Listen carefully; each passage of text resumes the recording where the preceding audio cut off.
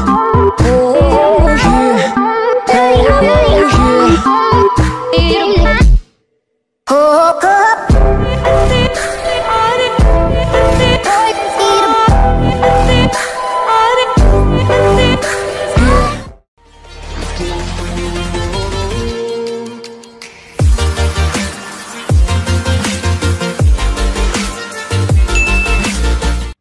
Xin chào tất cả các thành viên thân mến ở trên kênh của mình và mình là anh Củ Cải đây.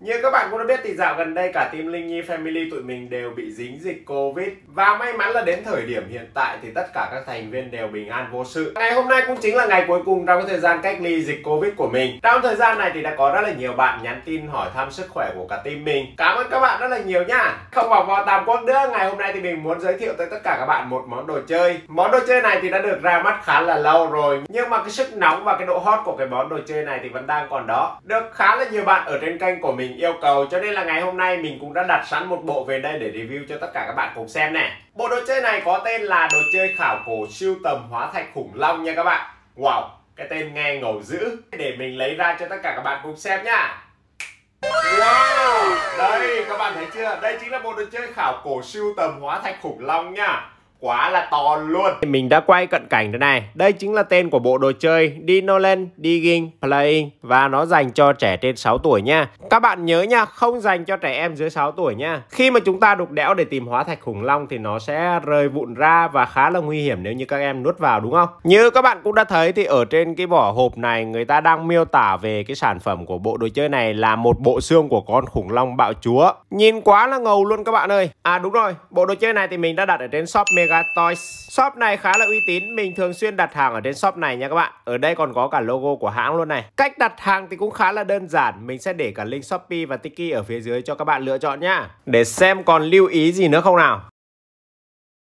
Đây các bạn ơi, ở mặt sau này thì người ta mô tả tất cả những cái chi tiết của bộ xương khủng long bạo chúa này. Khi mà chúng ta đào hóa thạch thì sẽ được những cái chi tiết này, có 16 chi tiết tất cả nha các bạn. Ngoài ra thì ở đây chúng ta còn có một cái lưu ý, một cái giới thiệu của shop Mega Toys. Tên của bộ đồ chơi này là đồ chơi khảo cổ sưu tầm hóa thạch khủng long T-Rex. Nhãn hiệu là Dinolan, thành phần là nhựa PE và thạch cao. Thông số kỹ thuật là không dùng pin này. Tuổi sử dụng là cho trẻ em 6 tuổi trở lên. Có thể chơi và trưng bày, có chi tiết nhỏ không thích hợp cho trẻ dưới 3 tuổi nha. Ngoài ra thì chúng ta còn có địa chỉ hoặc là số điện thoại của nhà sản xuất đấy nha. Không để các bạn phải chờ lâu hơn nữa, bây giờ mình sẽ khui bộ đồ chơi này ra luôn.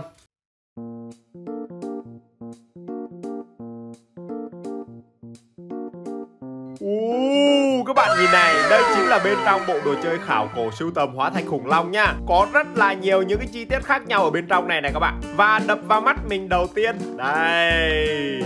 Đây chắc chắn là tảng đá hóa thạch của chúng ta rồi các bạn ơi. Để mình thử xem nào. Wow. Âm thanh nghe như là một viên gạch luôn đấy các bạn ơi, Nhưng mà nó cực kỳ nhẹ nha. Ở đây thì nó đang được bọc bằng một cái lớp bao bóng này các bạn. Cái chất liệu của tảng đá hóa thạch này mình nghĩ là được làm bằng thạch cao nha các bạn. Rất là cứng luôn đây các bạn nhìn này, ở đằng sau này người ta có mô tả hình ảnh khi mà chúng ta chơi này. Đào lên thì chúng ta sẽ có những cái uh, mảnh xương hóa thạch như thế này nhá. Khi ráp lại hoàn chỉnh thì chúng ta sẽ được những cái bộ xương khủng long hóa thạch như thế này. Mình thấy ở đây có rất là nhiều mẫu mã khác nhau luôn này. Tất cả là 7 mẫu hóa thạch khủng long khác nhau này. Ok, để mình xem là còn những cái món đồ gì khác đấy nha Wow một cây kính bảo hộ này các bạn ơi, Nhìn rất là đẹp luôn. Khi mà chúng ta đào bới đục đẽo tảng đá hóa thạch Thì cái mắt kính này sẽ giúp chúng ta bảo vệ đôi mắt khỏi những cái vụn đất đá bay lên nha. Tiếp theo thì mình thấy ở đây có thêm một cây búa và một cái đục.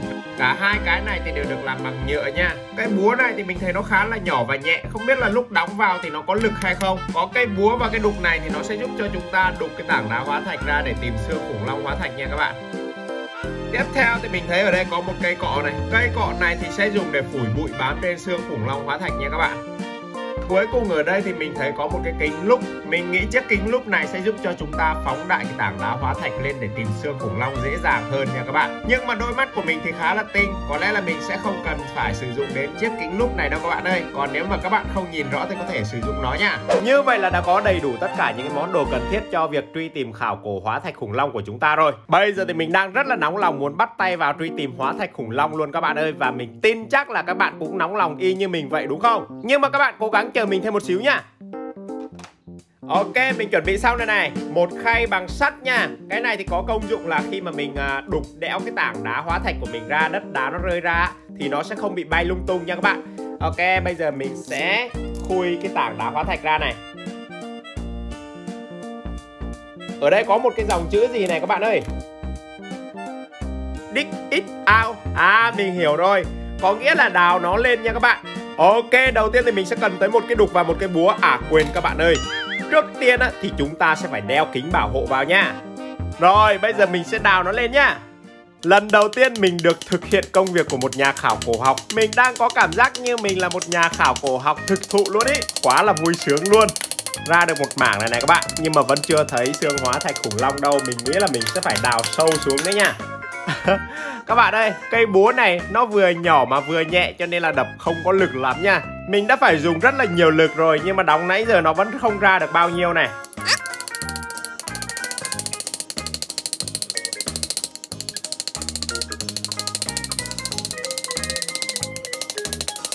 Các bạn ơi, đục đéo nãy giờ hơn cả chục phút rồi Nhưng mà mình vẫn chưa tìm thấy cái hóa thạch khủng long nào các bạn. Và mình vừa nảy ra một ý rất là hay Đó là mình sẽ lấy cái đồng hồ bấm giờ để đây Để xem là khi mình đào bới được hết tất cả hóa thạch xương khủng long Thì mình sẽ mất bao nhiêu thời gian nha các bạn.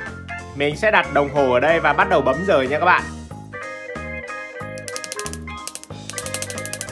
Mình nhìn thấy cái gì rồi này? Đây, các bạn nhìn thấy không? Giống như là một mảnh xương hóa thạch của khủng long này. Rồi, bây giờ mình sẽ đục xung quanh cái vùng này nha. Đục thật là nhẹ nhàng nha các bạn. Mình thấy cái đoạn này giống như là một mảnh xương hàm á các bạn. Đây, có cả răng này. Thật là tỉ mỉ và nhẹ nhàng nha các bạn. Mình sợ là khi mà mình đục vào cái xương này nó bị gãy á. Khi mà nó gãy rồi thì chúng ta sẽ không thể ráp lại được hoàn chỉnh nha.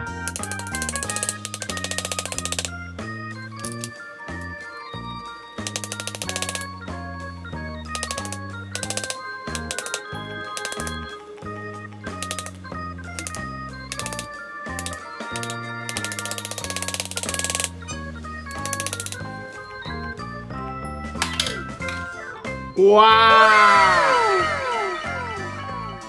Như vậy là mình đã đào được một cái mảnh xương đầu tiên rồi này các bạn ơi. Theo như mình nhìn thấy thì đây có vẻ như là một cái mảnh xương sọ nha các bạn. Ở đây có cả cái hàm răng lởm chởm ra nữa này. Bây giờ mình sẽ phủi hết bụi ở trên cái mảnh xương này ra nha. Như vậy là mình đã làm sạch được cái mảnh xương hóa thạch khủng long đầu tiên này này. Mình sẽ cho nó lên đây nha.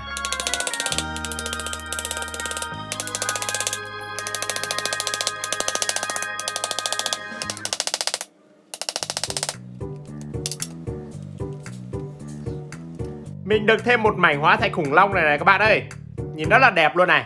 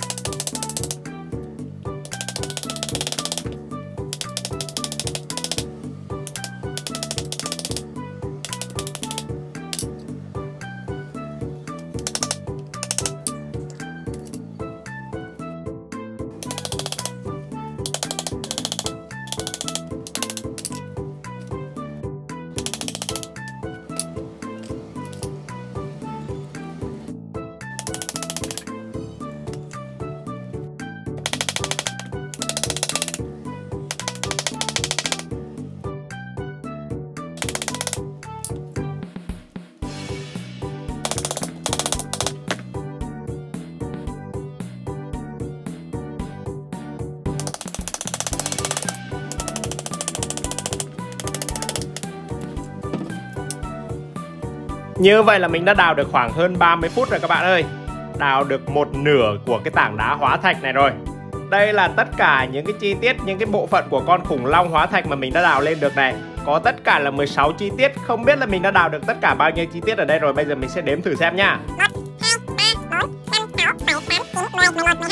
13 chi tiết có nghĩa là còn 3 chi tiết nữa nó nằm ở bên trong này. Ngồi đục đẽo như thế này cả tiếng đồng hồ chắc chắn là các bạn sẽ rất là nản đúng không? Nhưng mà mình sẽ chỉ cho các bạn một cái mẹo đó là các bạn hãy tưởng tượng ra cái thành quả khi mà chúng ta đã ráp hoàn chỉnh xong một cái bộ xương con khủng long thì trông nó ngầu như thế nào. Chỉ cần nghĩ như vậy thôi thì chúng ta sẽ có thêm động lực để mà đục đẽo đào bới tiếp nha các bạn. Ồ oh, các bạn ơi sau một hồi đào bới thì cuối cùng nó cũng đã lòi ra rồi này. Rồi mừng quá mừng quá.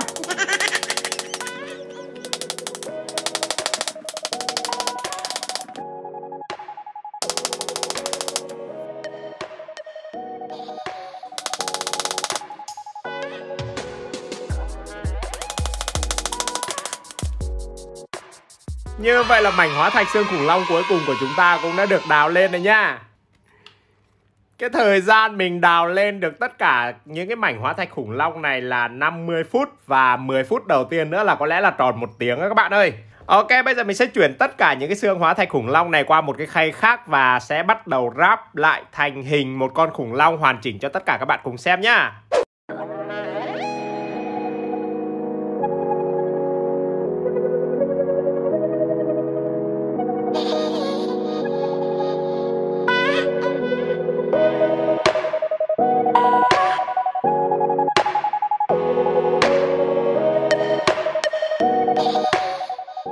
Few moments later. Ta-da! Như vậy là mình đã ráp xong cái bộ hóa thạch xương khủng long T-Rex rồi này các bạn ơi. Ý chang như trên hình mẫu này luôn nha các bạn. Đó, không sai một xí nào luôn. Đây, một tiếng đồng hồ để hoàn thành xong cái bộ khảo cổ hóa thạch xương khủng long này nha các bạn. Cảm giác của mình hiện tại phải nói đang rất là sung sướng luôn các bạn ơi. Đây, thành quả đây, rất là đẹp luôn nha. Đúng là không hề bỏ công khi mà mình ngồi đục đẽo cả tiếng đồng hồ như thế này đây các bạn. Chơi cái bộ đồ chơi này thì các bạn biết cái phần thú vị nhất là gì không? Đó chính là cái quá trình chúng ta đào bới và tìm kiếm hóa thạch khủng long đó các bạn. Bộ đồ chơi này thì đòi hỏi cái tính chuyên nghiệp khá là cao. Tất nhiên rồi, không thể nào mà làm ào ào được. Bởi vì những cái chi tiết xương hóa thạch khủng long này rất là dễ bị gãy và hư nha. Và như các bạn đã thấy sau cái quá trình hoạt động khảo cổ thì chúng ta đã thu thập được một cái mô hình mô phỏng bộ xương của khủng long. Qua đó sẽ giúp cho chúng ta khám phá thêm được nhiều điều kỳ bí về cái loài sinh vật đã tuyệt chủng này. Theo như cảm nhận của cá nhân mình thì mình thấy cái bộ đồ chơi khảo cổ sưu tầm hóa thạch khủng long này rất là thú vị nha. Các bạn nên mua về chơi thử một lần để trải nghiệm xem sao nha. Và có lẽ là mình sẽ kết thúc cái video của mình tại đây. Hẹn gặp lại các bạn trong những cái video lần sau. Còn bây giờ thì bye bye.